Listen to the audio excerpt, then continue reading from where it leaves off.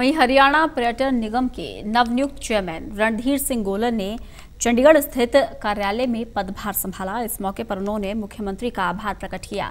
साथ ही नैनपाल रावत को भंडारगार निगम का चेयरमैन तो सोमवीर सांगवान को हरियाणा पशुधन बोर्ड और धर्मपाल गोंदर को हरियाणा वन विकास निगम का चेयरमैन बनाया गया।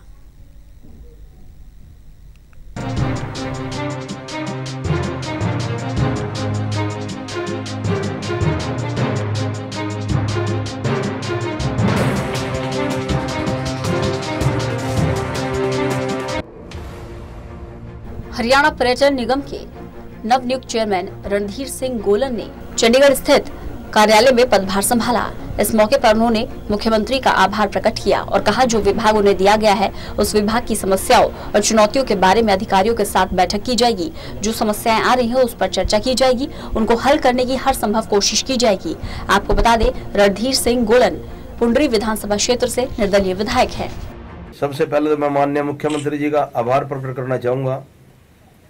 कि मैं पहली बार विधायक चुनकर आया हूँ।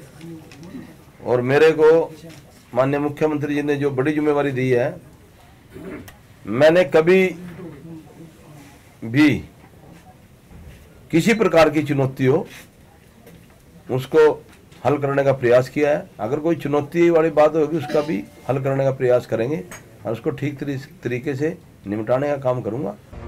गोलन के अलावा नैनपाल रावत को भंडारगार निगम का चेयरमैन बनाया गया है तो वहीं सोमवीर सांगवान को हरियाणा पशुधन बोर्ड और धर्मपाल गोंदर को हरियाणा वन विकास निगम का चेयरमैन बनाया गया है। दरअसल सरकार बनाने में बीजेपी, जेजेपी का गठबंधन तो हुआ ही है, साथ ही सात निर्दलीय विधायकों ने भी बीजेपी का समर्थन किया है। ये बीजेपी के बागी हैं, जो निर्दलीय तौर पर चुनाव जीत कर विधानसभा में पहुँचे। बीजेपी ने कुल मिलाकर पाँच निर्दलियों को एडजस्ट कर दिया है। बीजेपी निर्दलियों को भी किसी तरह पीछे नहीं रखना चाहती। चंडीगढ़ से अनिल कुमार टोटल न्यूज़